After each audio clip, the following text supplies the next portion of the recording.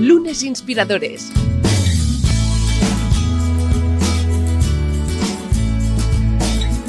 Con David Tomás y Edu Pascual. ¿Qué tal? Bienvenidos a Lunes Inspiradores, hoy en un eh, nuevo espacio donde tendremos ocasión, como siempre, de aprender, de maravillarnos con una invitada que eh, yo creo que nos invitará a la reflexión, a la reflexión de la que, bueno, muchas veces nos hemos planteado aquí en Lunes Inspiradores, y es esa sociedad que nos aprieta, que nos hace correr y que muchas veces incluso eh, hace que nos exijamos más y más y que querramos más y más, y siempre como bien os podéis imaginar, en el ámbito profesional. ¿Qué puede pasar? Hombre, pues que al final nos quememos.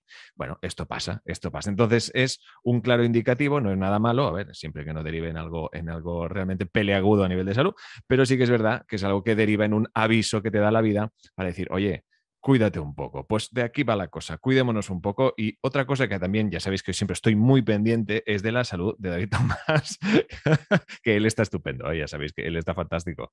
Ya me gustará estar con, como él, ya te digo, cuando me toque me encantará estar como él. Pero oye, David, ¿cómo estás? Bienvenido.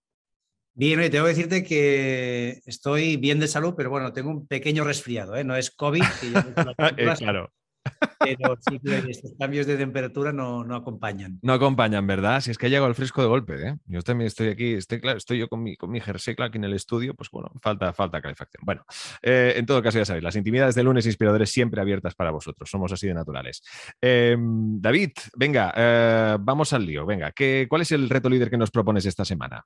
Pues fíjate, empezamos noviembre, el mes de noviembre el reto líder va de la disciplina, ¿no? Algo que que nos gustará más o menos, pero que sabemos que es útil en la vida tener una cierta disciplina.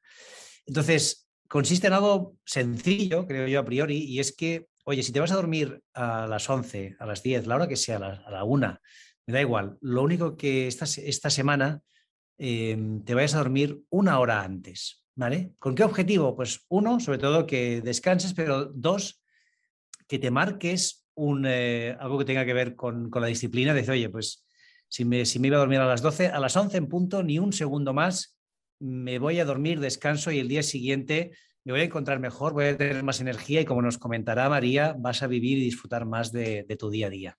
Desde luego, para descansar y luego, pues eso, comer para comernos el mundo. María Quindelán, ¿cómo estás? Bienvenida. Hola, encantada de estar con vosotros. Un, placer. que, eh, nuestro que, que, nos acompañes, como no, hoy aprenderemos un montón contigo y sobre todo, sobre todo, nos inspiramos. Nos inspiraremos con tu, con tu historia porque todo tiene un porqué, todo tiene un, inicio y un motivo. Y nuestra invitada se dedica a, lo que se dedica, pues obvio, pues por las experiencias que, da la vida. Antes de entrar en materia, ah, pues oye, me gustaría saber primero qué te ha parecido el reto líder de David, porque a nivel de disciplina, ¿tú cómo, cómo lo llevas, la autodisciplina? bueno, la autodisciplina es todo un desafío para todo el mundo. Eh, nos creemos a veces muy disciplinados para ciertas cosas y luego para otras no lo somos. O incluso nos pasamos de exigentes, ¿no? Y ahí es cuando perdemos la naturalidad. Entonces está bien tener unos propósitos y sobre todo hábitos que nos favorezcan, no que nos hagan daño, no nos engañemos, eh, pero también hay que tener cierta flexibilidad, ¿no? que a veces incluso nos llegamos a pasar de todo lo que nos exigimos y eso es lo que nos genera el estrés. No, no, eso está bien pensado. Yo está, claro, yo me lo llevo al, terreno educativo infantil y pienso en la, en la, disciplina aplicada en educación y en, y en, los pequeños de casa, pero que a veces piensas, bueno, que haga un poco el salvaje, que también es un niño, oye, tiene que también saber que puede hacer un poquito el salvaje, ¿no? Pero bueno, todo con su medida y cada casa, cada uno, cada, cada uno con lo suyo. Antes de liarnos más, uh, María, respóndenos, ¿qué es para ti un lunes? ¿Qué supone para ti el primer día de la semana? Bueno, pues te voy a decir la verdad.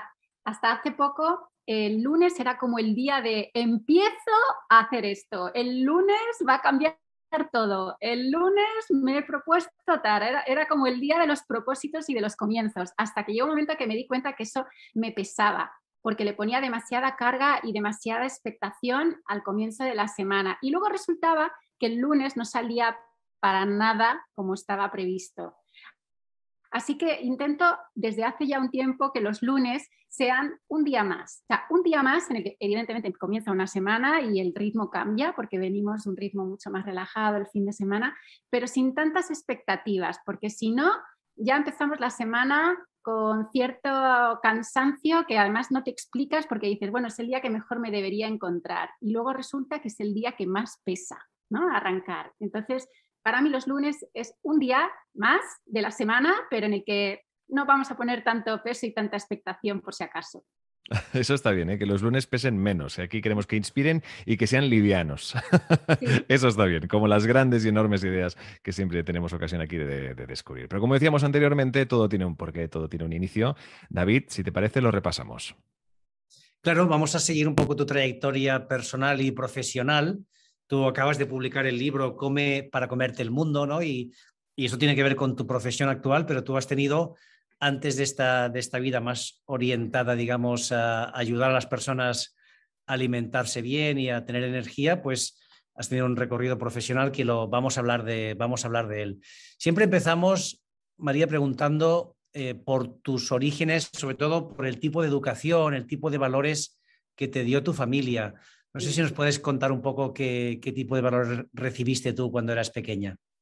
Claro que sí. En realidad he recibido una educación bastante conservadora. Eh, además, mi padre, como buen militar, pues se encargó también de transmitirme unos valores y, unos principios muy claros y sobre todo me, enseñó a luchar por aquello ¿no? que, en lo que yo creía.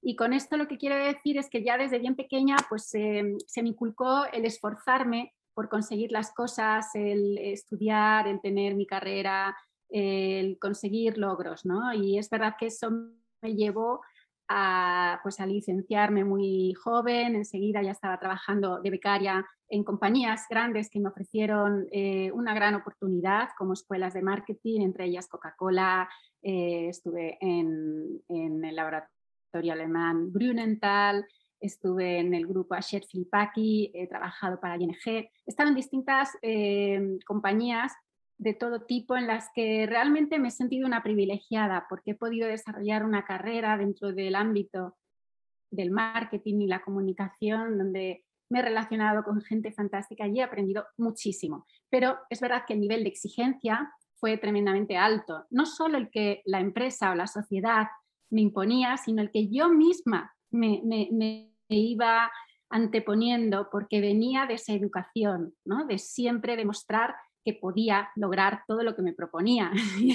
y así, así viví y así trabajé sin ser verdaderamente consciente de los niveles de estrés tan elevados a los que yo misma me estaba sometiendo. ¿no? Cuando muchas veces ya el trabajo de por sí salía bien o, mi planificación semanal estaba cubierta más que de sobra, pero aún así yo siempre buscaba la perfección o el ir más allá, no conformarme.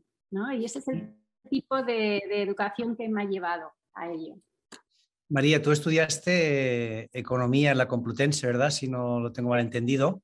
Eso es. Y, también eh, marketing y administración de empresas en SM. Exacto. Hiciste también las, las dos en, paralelo. Y claro, como bien decías, empezaste a trabajar en empresas referentes en el mundo del marketing y de la comunicación. ¿Dónde te, ¿Dónde te, imaginabas, no? Pongamos, eh, pues esto, María, con 25 años, ¿no? Ya trabajando pues, en empresas como Coca-Cola o como eh, Interdeco, ¿no? del grupo Hachette. Em, ¿Dónde te imaginabas? ¿Qué, pensabas? ¿Cuál era tu futuro? ¿Dónde te veías? Sí, pues me veía pues, en un puesto de dirección, em, en una vida, en un puesto de dirección relacionado con el marketing, en una compañía eh, que me retase constantemente con valores llevando una vida, eh, lo que en ese momento yo entendía como una vida ordenada, una, vida, eh, bueno, pues feliz, ¿no? La gente, en, definitiva, lo que quiere es estar estable en sus vidas personales, laborales y, e incluso poder tener algo de tiempo para, para seguir divirtiéndose, que es muy importante. Entonces, bueno, tampoco veía mucho más allá, si te soy sincera, David. O sea, yo pensaba que eso era lo que tenía que hacer, sí. Muy bien. Y seguías un poco pues lo que te marcaba la sociedad, ¿no? Lo que veías, lo que veías que era lo, que tus padres, ¿no? Tus amigos valoraban, ¿no? Pero hay un día en que hay un día que tú te empiezas a, encontrar no tan bien, digamos, ¿no? Cuéntanos un poco ese proceso hasta que tú decides hacer un cambio de vida. Pues mira, parte de lo que te estaba contando hasta hace un momento, David, em, por supuesto lo he decidido yo, nadie me ha obligado a nada. Eh, pero es verdad que, mm, la educación y, la formación que he recibido no me dio la oportunidad de plantearme de una forma tranquila si todo eso era lo que realmente yo quería hacer, si era lo que iba con mi, con mi carácter, con mi personalidad o con mis verdaderas eh, inquietudes personales. Esto para mí, que ahora miro atrás, unos años después, eh, fue como algo automático, fue algo en lo que tampoco me paré demasiado a pensar, porque me podía más el demostrar aquello, ¿no? Que se esperaba de mí y que incluso cuando tuve a mis hijas, pues que también fuese una madre estupenda, capaz de conciliar sus responsabilidades en el trabajo con las responsabilidades familiares. Llegó un momento que todo esto, me, a causa también del cansancio acumulado y, del estrés que, que esta vida me estaba generando, me llegó a, hacer, a plantearme esa pregunta. ¿realmente es esto lo que yo quería? ¿Es esta vida la que yo he elegido por mí misma? Estoy siendo honesta y sincera conmigo misma y te voy a poner un ejemplo. Yo de niña era una persona muy creativa, súper creativa. Me encantaba la danza, además es que eh, eh, mi forma de expresarme era a través del movimiento, eh, escribía, me encantaba escribir, pintaba, hacía cosas muy creativas. Em, pero es verdad que a mí, bueno, me ayudaron a canalizar todo eso eh, de una manera que no iba tanto con mi verdadera esencia, pero bueno, me parecía también perfecto y es, bueno, pues voy estudiar eh, dirección de empresas, eh, económicas. Que sí, y tenía una parte creativa que me gustaba y fui feliz durante esos años, pero había algo que no era coherente en mí. Y cuando ya estaba en lo mejor de mi carrera profesional, y, mm, llegó un momento que no disfrutaba tanto de lo que estaba haciendo. Es más, no me terminaba de creer aquello que escribía como responsable muchas veces de, la comunicación, tanto externa como interna, de las compañías para las que trabajaba. Y esto me empezaba a chirriar y me generaba malestar. Y yo veía que cada vez estaba automatizando más mi trabajo y mi vida sin poder parar ni siquiera a plantearme si eso me estaba llenando o, enriqueciendo. Y fue cuando dije, ¿y esto va a ser siempre así? ¿Y voy a pasar el resto de mi vida sintiéndome así? Ya no haciendo, no haciendo, sino sintiéndome así, como que esto ya no, no tiene tanto sentido. Es como no me siento esa niña creativa o esa persona con curiosidad de aprender cosas nuevas o que sé que puedo dar más de sí, pero por otro camino. Y aquí de repente me chirriaba todo.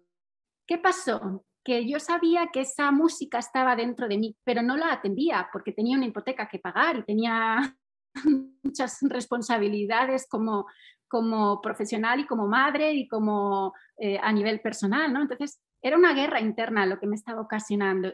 Y esa guerra hizo que fuera mi propio cuerpo el que en un momento dado dijese, si no me paras tú, te voy a parar yo y mi cuerpo empezó a sentirse mal.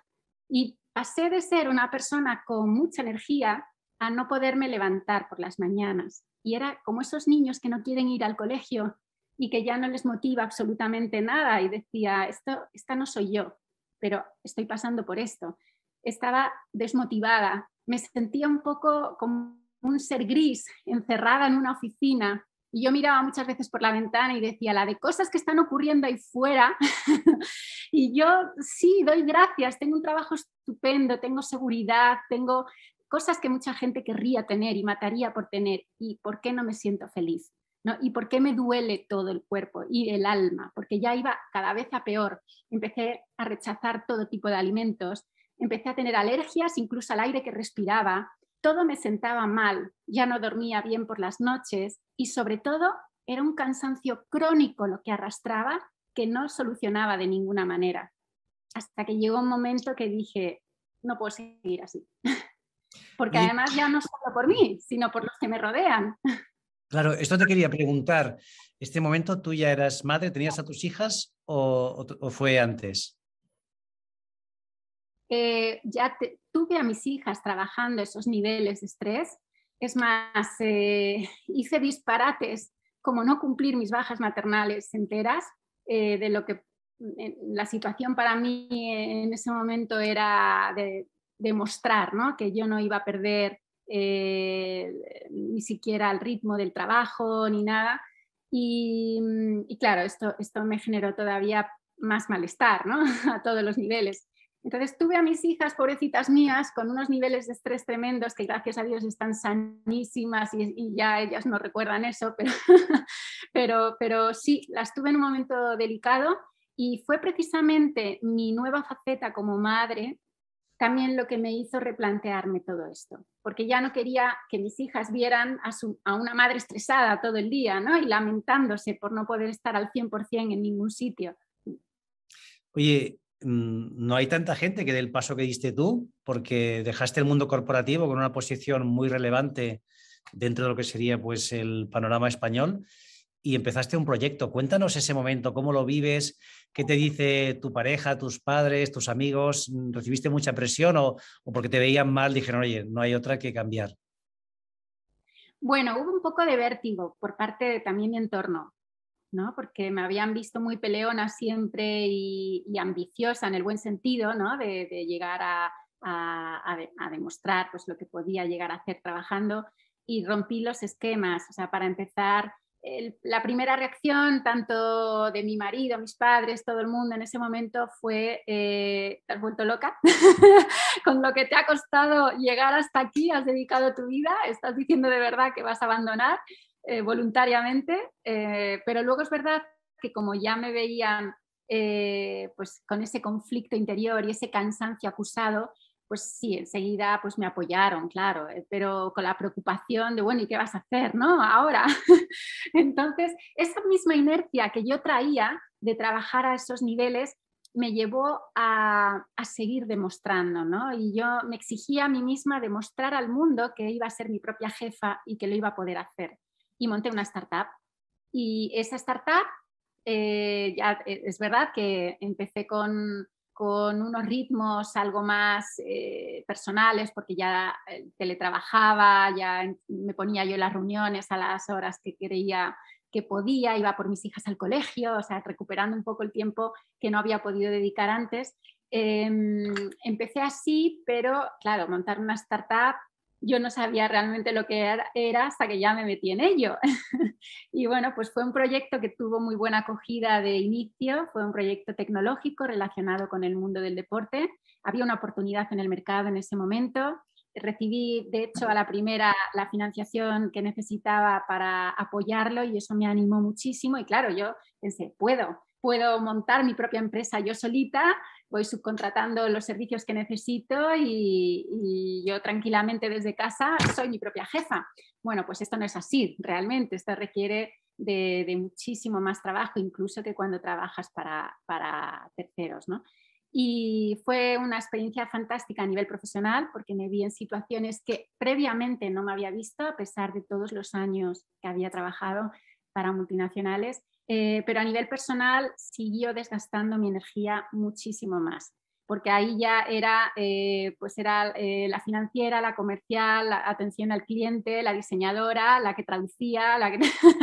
Entonces, bueno, como dice el refrán, salí de Málaga para meterme en Malagón. Y fue, fue tremendo, hasta el punto que, aunque había resuelto algo, mi malestar eh, de salud. Eh, en ese momento me diagnosticaron una celiaquía que venía causada por un debilitamiento de mi sistema inmunológico. Y bueno, es verdad que estaba latente y por esa razón salió. A lo mejor otra persona no tiene por qué pasarle eso, ¿no? Pero sí tenía el sistema inmunológico bastante debilitado y deprimido en ese momento y, era muy vulnerable a cualquier desajuste de salud, ¿no? Entonces eh, se sumó a un concurso de acreedores en el que me, vi, metida para cerrar la startup de Prisa y fue ya cuando decidí que tenía que escucharme por encima de todo y llenarme de cosas que realmente me apasionasen para salir adelante, porque ya no era cambiar el trabajo, ya no era cambiar el modelo de funcionamiento, si para terceros, si autónomas, si montar una startup, no, eso ya daba igual ya todo parte de estar bien. Es cuando me convencí de, si es que todo radica en mí, no en dónde trabaje o para quién trabaje. es que tengo que replantearme la vida de otra manera, porque si no, no voy a llegar ni a los 50, así.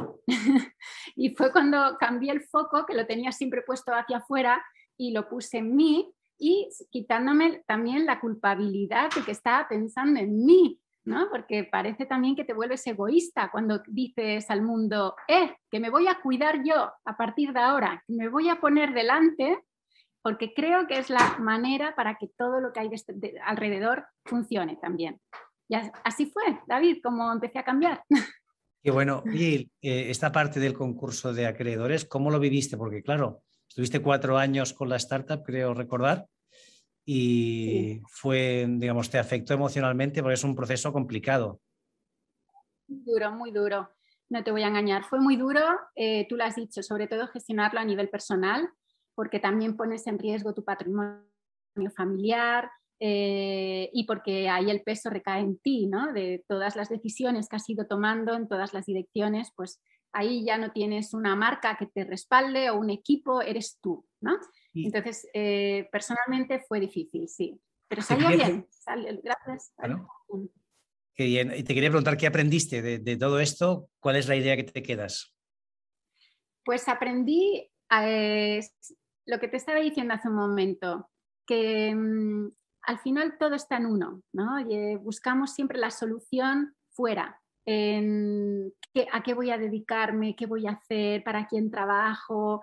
Eh, claro, sí, es, es, evidente que nos preocupe, pero es que la cuestión no es esa, es que me hace a mí estar bien, porque cuando yo esté bien, a lo que me dedique va a salir, va a salir pero tiene que haber coherencia entre lo que yo soy, lo que me hace estar bien y a lo que me dedico. Entonces ya todo va en armonía y es lo que he podido comprobar estos últimos años de mi vida, donde ya sí que he encontrado esa armonía. Me ha costado la vida llegar a ello. ¿Y cuáles son, cuáles son las claves? ¿Cómo has encontrado esta armonía? Empezando por cuidarme, tan simple como eso, pero cuidarme es una palabra muy ambigua.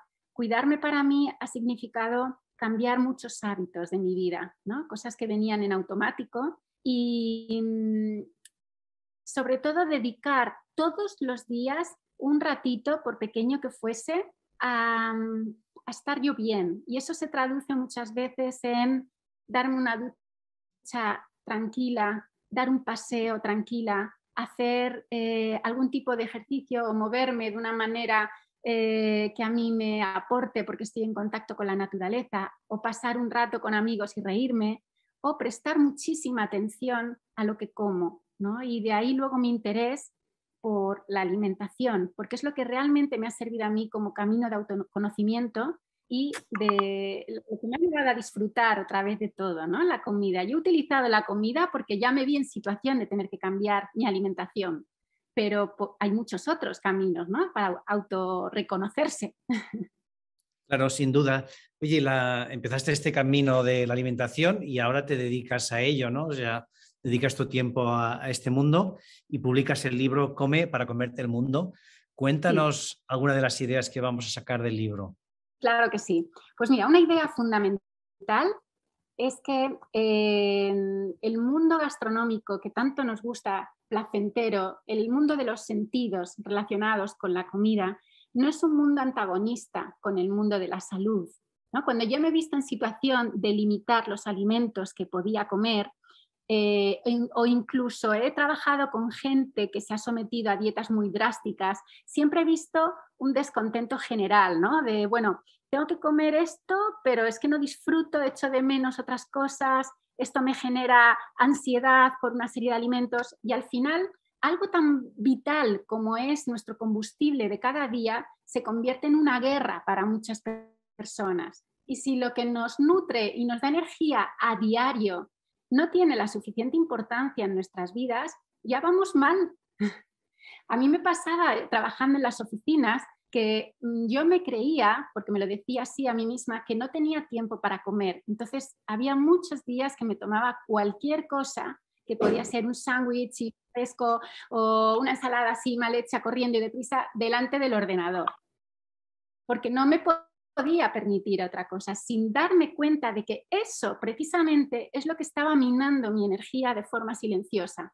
Porque por mucho que pareciese un alimento, en realidad eso me estaba haciendo un daño tremendo porque me estaba generando pues eh, desajustes de mala digestión, dolores de cabeza, incluso cuando llegaba a casa, como no había comido lo suficiente, aunque yo me creyese que sí, pues recurría a una serie de alimentos que mi cuerpo me estaba pidiendo para compensar, que era lo que luego no me dejaba dormir bien. Entonces ahí fue cuando empecé a descubrir la relación tan nefasta que podemos llegar a tener sin darnos cuenta con los alimentos, que son nuestro pan de cada día, nunca mejor dicho. Y sin eso, que es lo que nos da la vida, no hacemos nada si no le prestamos atención. Sin duda, oye, es, eh, algo que es lo que dices, que muchas veces vamos en piloto automático, no analizando lo que hacemos, ¿no? y vamos a toda velocidad.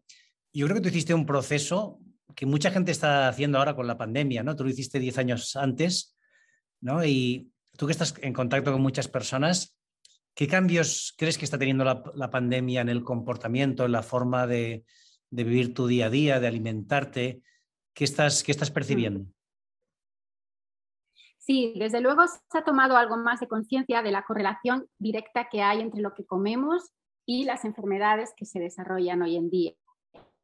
Y digo enfermedades crónicas como pueden ser simplemente desajustes cotidianos a los cuales parece que nos hemos hasta acostumbrado y no deberíamos, ¿no? Muchas veces nos duele la cabeza o tenemos un malestar de estómago o una dermatitis o insomnio. Y esas cosas no las achacamos nunca a lo que hemos comido el día anterior o lo que hemos cenado. En fin, esto sí que se ha ido tomando algo de conciencia en, situación de confinamiento, incluso ahora con todo lo que nos rodea con la pandemia. ¿no? Eh, se está tomando un mayor interés por llevar hábitos de vida saludable, eh, por miedo a tener un sistema inmune débil. Eh, se está utilizando por fin, poquito a poco, pero ya vamos encaminados, la comida como algo preventivo que hasta ahora eh, parecía que solo los medicamentos ¿no? nos podían ayudar a, paliar o, otro tipo de actitudes, pero por fin nos estamos dando cuenta de que es la comida, la alimentación, lo que también nos puede ayudar a prevenir un montón de desajustes. ¿no? Yo creo que es, a ver, eh, desgraciadamente estamos viviendo tiempos difíciles, David, una pandemia espero que acabe y que no volvamos a ver más porque está siendo tremenda, pero si algo bueno podemos sacar en el sector de la salud es precisamente la conciencia que se está tomando de lo importante que es cuidarse. Sí. en Lunes Inspiradores nos, encanta traer gente como tú que os habéis reinventado, que habéis cambiado de vida. Pero es verdad que hablando antes de la presión social, ¿no? Yo estoy convencido, y ahora nos lo cuentas, ¿no? Que tu núcleo más duro habrá entendido perfectamente tu cambio de vida, pero seguro que hay gente que todavía te mira un poco con recelo, decir, ostras, eh, María, ¿no? Que tenía esta proyección que parece que es lo que la sociedad valora. ¿Y tú qué les dirías si les tuvieras que dar un mensaje a estas personas, sabiendo que a veces es mejor no decir nada porque no te van a entender, pero qué les dirías? Sí, es verdad.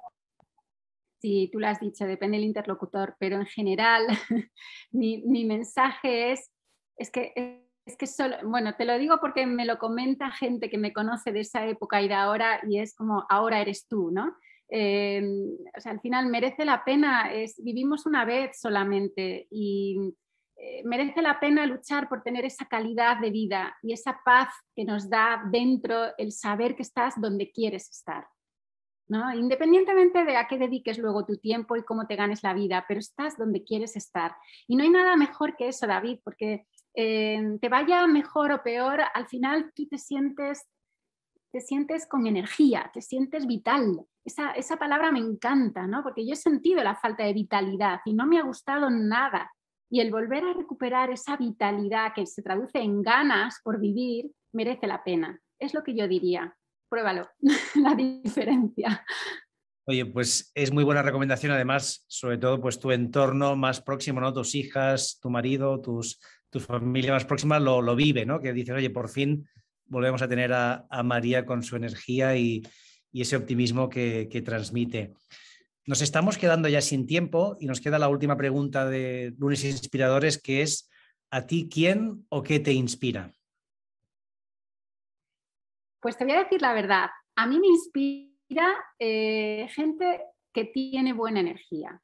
puede ser gente eh, conocida, gente anónima, eh, de distintos edades. Me inspira todo aquello que, de lo que yo pueda aprender, ¿no?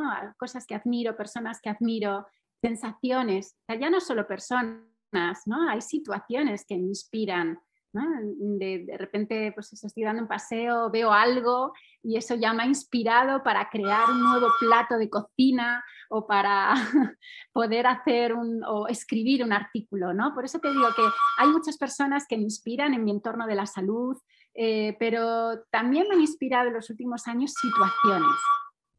Perdón, ¿eh? Porque ha habido ahí... No te preocupes, que estos son los gajes del directo. Aquí lo que tiene estar en, casa, pues nos quedamos con todas estas ideas y sobre todo mm, con la recomendación de, leer Come para comerte el mundo, que es lo que queremos hacer todos, pero sobre todo comernos el mundo de una forma responsable, ¿no? sin esa presión y sin esas prisas, y además que sea el mundo que cada uno nos queremos comer, ¿no? porque, porque hay demasiada presión en, en seguir una serie de patrones y de formas de hacer las cosas y creo que debería haber tantas como personas ahí en el, en el mundo. Hay alguien que le gusta mucho comer y le gusta cuidarse también, pues, es que, que sí?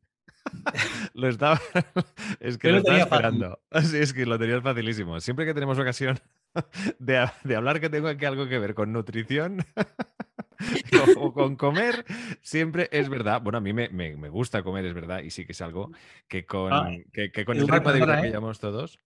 No, te iba a decir que tú eres un experto, que tú durante mucho tiempo has creado contenido muy, muy útil, ¿no? De, buena restauración, de buena alimentación, o sea que no, no solo te interesa, sino que eres un experto. Bien redirigido, sí, sin duda. que hombre, que ya que es un placer, que es ahí donde vamos, ¿no? Y, donde, y lo que es lo que comenta David, ¿no? También, ya que es un placer, oye, pues qué mejor que hacerlo de forma ordenada, hacerlo bien, que al final ese momento, que sea un momento incluso mindfulness, que estés solo centrado en comerte esa ensalada, en comerte ese plato de, desigual, unos macarrones, lo que sea, ¿no? Pero que realmente lo disfrutes, que estés consciente de que te estás comiendo ese plato de macarrones y dejarte ya de pantallas arriba para abajo, que ya tenemos suficientes horas para dedicarle, ¿eh? Me ha, llegado el mensaje, María, ya lo has visto. Muy bien, muy bien. Creo que lo disfrutarás más. Seguro, seguro. Y qué buena falta nos hace en general, evidentemente. Yo no soy una, no, soy una excepción porque también lo que comentas creo que nos pasa a todos. Todos nos hemos sentido reflejados con la historia que nos ha comentado a María, lo que le sucedía y que esperemos que de alguna manera, como siempre invitamos aquí, que os haga reflexionar a, todos. Eh, inspirados quedamos. Eh, María Quindelán, ha sido un auténtico placer que nos acompañes. Muchísimas gracias y cuídate mucho. Muchísimas gracias a vosotros, ha sido un verdadero placer. Y David, venga, ¿qué le decimos a las inspiradas e inspirados para esta semana? Pues sobre todo que este mes empiecen a aplicar la disciplina. Esta semana es ir a dormir una hora antes para estar más relajados, para cuidarnos, como decía María, para, para ponernos delante. Y luego que salgan a la calle, que sean inspiradores, inspiradoras y que sobre todo se relacionen creando buen rollo a su alrededor. Suscríbete a nuestro canal de YouTube, a nuestra cuenta de iVoox y síguenos en Twitter, arroba lunesinspirador. Lunes Inspiradores.